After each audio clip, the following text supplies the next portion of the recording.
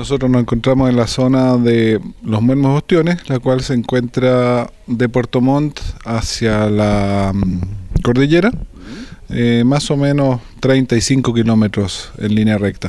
Bien. Ubícanos eh, regímenes de lluvia, eh, ubicanos eh, cómo es el, el, del territorio. El territorio aquí es eh, una combinación de, suelo- de suelos ñadi, que son suelos húmedos, con capa ve- poca capa vegetal, y eh, precordillera a la costa, con algunos suelos de poquito mejor calidad entre medio, los cuales eh, nuestro régimen de lluvia es alto, tenemos por lo menos 1800 milímetros al año, los cuales se distribuyen Últimamente se han distribuido en 10 meses del año en forma eh, pareja, habiendo una mayor pluviometría en los meses de junio-julio, donde cae aproximadamente un 40% del agua. Ya, eh, don Juan Stolzenbach llegó aquí a este predio donde estamos ubicados en este momento en, mil no- en 1945, eh, dado que era casado con la señora eh, Marta Minte, que es la hija de don, de don, don Bernardo. Ellos llegaron aquí con 10 vacas, 20 vacas y eh, mucho trabajo, dos niños chicos de 4 y 3 años, si mal no recuerdo, Bien. y, em, que son mi tío y mi madre. Eh, y bueno, aquí desarrollaron y limpiaron las 400 hectáreas originales. Bien. Tres preguntas en una. ¿De dónde vinieron, en qué año y cómo era esta zona? Mi abuelo vino originariamente de la zona de cercana a Osorno. La familia Stolzenbach es originaria de Osorno. Eh, mi abuela es originaria de acá de Puerto Varas. Y eh, se vinieron en 1945. Bien. ¿Ya? ¿Y cuál era la tercera? zona, ¿cómo era la zona? La zona aquí era básicamente, el, el fondo este se llama Miramontes. Cuando llegaron ellos aquí habían 15 hectáreas despejadas, el resto era todo bosque.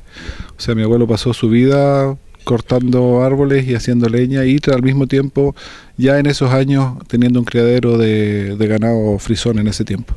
Ubícame décadas siguientes, de, de esa década del 40, siempre fue la producción de leche el eje y ah, cómo fue el crecimiento hasta que vos tienes uso de razón. Eh, obviamente por historia. eh, yo diría que los primeros años el- la producción de leche fue secundaria, porque obviamente el ingreso de los primeros años fue forestal, básicamente. Eh, algo de siembras, pero siempre se fue creando y armando el, rebaño. Ya las vacas que tenemos aquí descienden casi todas de esas originarias. Ya en 1960 por ahí, eh, un poco antes o alrededor de la, de la época del terremoto, la lechería ya era la parte más importante de la producción, en la cual en esa época y antes también lo que se hacía era vender la mantequilla que se producía acá. Se sacaba el suero y se llevaba la mantequilla, no la leche. Y el- la gran expansión, digamos, de la, de la lechería a lo que es actualmente, o sea, la adquisición de los dos predios laterales, ya pasó en la década del 80, Bien. 80 y 90.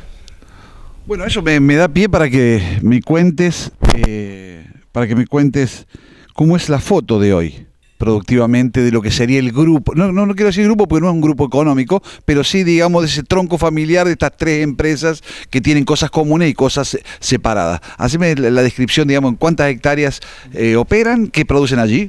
Ya, este predio, eh, los tres predios juntos, que originariamente eran era un predio de 1.200 hectáreas, que se dividió en tres hijos, 400 cada uno, eh, en la cual cada uno tiene una, unidad- una unidad lechera, que en este momento fluctúan entre 300 y 370 vacas cada uno, que es el, el producto principal de, de venta hoy en día, o sea, es un predio lechero. Ahora, últimamente se han ido, en los últimos 10 años se fueron adquiriendo satélites, ya en el caso del predio de don Germán, directamente al lado, mis tíos y mi madre un poco más lejos, pero todavía se mantiene esta como la unidad principal. Cada individuo administra su predio, pero el grupo familiar tiene una otra empresa de servicios, ya que da los servicios de todo lo que es los, eh, la, los meca- la mecanización, o sea, tractores para cultivos, para siembras, para eh, cosecha de forraje, además de un molino de granos con el cual se procesa y elabora todos los granos, o casi todos los granos, los, con los cuales suplementamos nuestras vacas eh, en época invernal o cuando sea necesario. Bien. Eh, en total son cerca de más de 1.500 hectáreas que- con el nuevo predio. Eh, con todos los satélites, sí. En la zona aquí son 1.300 juntas en Bien. tres, en tres predios distintos. Bien. Contame un poco cómo es producir leche en este, en el sur de Chile, con el contexto actual, este, Ricardo, por favor. Con el contexto actual, eh, a ver, es, digamos así, que en las mañanas hay que darse ánimo para levantarse. El contexto actual no es el más prometedor. Como digo yo, eh, el peor problema que tenemos en este momento es que la situación está regular a mala, pero principalmente los productores lecheros no le vemos camino hacia adelante, no le vemos futuro. ¿Ya? porque hay muchas cosas tanto en el negocio como en el país que están, eh, por decirlo menos, borrosas o poco claras, tanto del lado gubernamental como del lado de las empresas, lo cual obviamente nos hace en este momento tratar de mantenernos lo más tranquilo posible y tratar de ir eh, haciendo lo justo para mantener nuestro negocio en un nivel que no caigamos en deudas y cosas por el estilo. El sueño de un Chile exportador de lácteos ¿se trunca o se posterga? Ese es un slogan. Yo creo que Chile puede hacerlo, pero no con los gobiernos que tenemos, con ninguno de los cuatro últimos que hemos tenido. Porque no hay ninguna ninguna verdadera, ¿cómo se llama?, vocación de hacer el Chile un, un país exportador de lácteos. ¿ya? Porque no hay, eh, ¿cómo se llama?, eh, facilidades como para verdaderamente desarrollarlo. La producción de Chile en Chile se hace con esfuerzo y sin la ayuda de nadie, así que de producción de leche por lo menos. En el sistema de producción del sur de Chile, que uno siempre lo asocia mucho al neozelandés, base pastoril, las vacas yendo a cosechar la mayoría de lo que se traduce después en leche, ¿se puso crisis el sistema en algún momento por no solo por la causa de los precios, digamos, sino por eh, lo que significa el trabajo, en fin. En este momento sí hay, hay obviamente un desbalance en, la relación precio, precio, ¿cómo se llama?, insumos. Eh, además de un desbalance en lo que es, eh, ¿cómo se llama?, la situación de la mano de obra, que está siendo cada día más cara porque está siendo menos eficiente. Yo no discuto que la gente debe ganar los, lo necesario y que tienen que mejorarse los sueldos, pero para eso esperamos que también trabajen de una forma acorde a, las a la mejora, mejor remuneración. Pero lamentablemente hoy en día cuesta mucho y eh, el, como digo yo, aquí tenemos un síndrome del chino río. Usted sabe que era el chino río. Sí, claro. Y el chino río, gran tenista, pero no estaba ni ahí cuando se enojaba. Ah, y lamentablemente nuestra juventud tiene el mismo problema, no está ni ahí. Danos algunos datos duros que sean comunes a los tres establecimientos, digamos, de, las de, las tres eh, eh, eh, familias que nos ayuden a ubicar productivamente dónde están, digamos, menos cantidad de vacas, productividad por vaca, algunos otros datos, digamos, que nos ayuden, digamos, a estos datos duros. Ya, las lecherías, como decía, están, se mueven entre 300 y 370 vacas en ordeña, todas con una todas se pastorean entre 120 y 150 hectáreas directamente. Es el pastoreo directo, el resto del campo colabora en la mantención del resto de los animales y la, importación, por decirle, de, de enilaje o silo al sistema. Son vacas de alta producción, Holstein principalmente, Holstein de distintos orígenes, eh, con un promedio de producción de alrededor de los 30 litros por día año redondo. Eh, el sistema obviamente es en base a la pradera, pero uno va va, como se dice, formando la ración necesaria para la producción sobre eso. O sea, cuando hay más pradera, más se consume, cuando hay menos se suplementa con más forrajes y concentrado. ¿La reposición es toda propia? ¿Se, se, calza todo y el alimento se genera todo aquí? No, la reposición sí es toda propia. Es un, los tres predios son predios cerrados en el sentido de que no entran animales de afuera, dado que tenemos una situación sanitaria, somos libres de brucelosis, tuberculosis, glucosis y otras enfermedades en control y la reposición se obtiene todo así del predio, pero los granos, una parte se produce en los predios satélites, como llamo yo, y gran parte se importa, ya sea maíz o soya, de los mejores postores que consigamos. Bien. Eh, si te invito a pensar en una década, en dos décadas. ¿Qué, crees que, va a haber aquí? ¿En la zona de los muermos? ¿En lo que manejan las familias? ¿Te gusta ponerme en, en problemas? Dijo el otro. A ver, eh, me encantaría, como acabo de decir, uno no tiene mucha, en este momento, mm, esperanza o perspectiva de futuro, dada la situación nacional y del negocio, de seguir en el rubro, me imagino, en eh, lechería aún en pastoreo, pero probablemente con una mejora en el manejo de los animales y mecanización del ordeño. Ya, en el sentido de probablemente robot o rotativas o lo que sea factible hacer.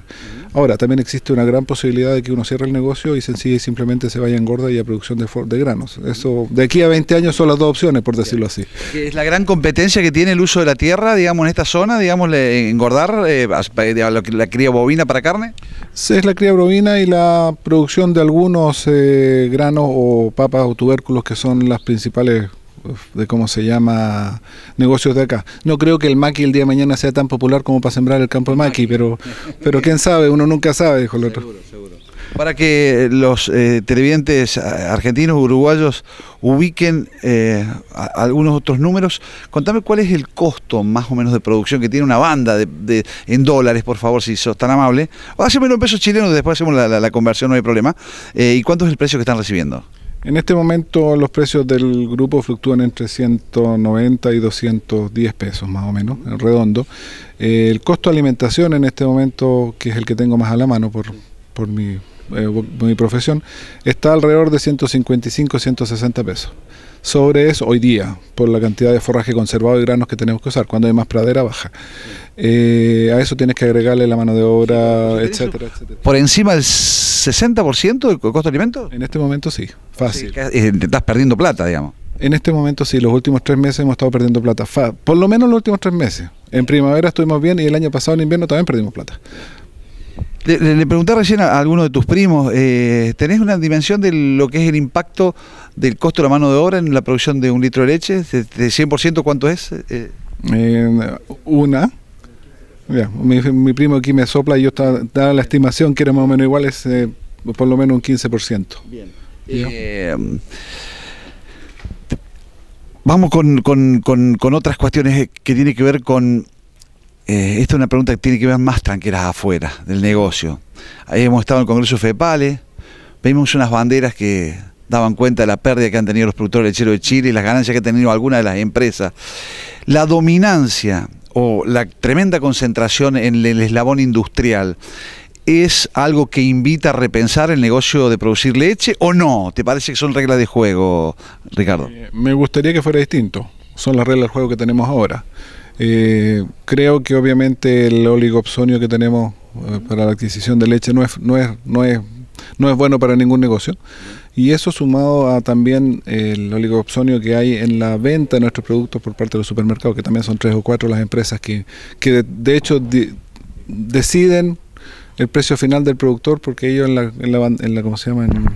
En, la góndola ponen, fijan los precios. Eh, ¿Nunca los invitó esta situación de tanto dominio a pensar agregar valor en origen? Es decir, ustedes producir sus quesos o algún derivado lácteo?